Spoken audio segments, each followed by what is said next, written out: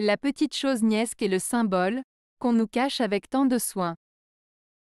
Jules Renard Cette citation de Jules Renard fait allusion au fait que les symboles, qui sont souvent utilisés pour représenter quelque chose d'autre, sont souvent sous-estimés ou ignorés par les gens. Renard semble suggérer que le pouvoir et la signification derrière les symboles sont souvent mal compris ou négligés, et que cela peut nuire à notre compréhension du monde qui nous entoure.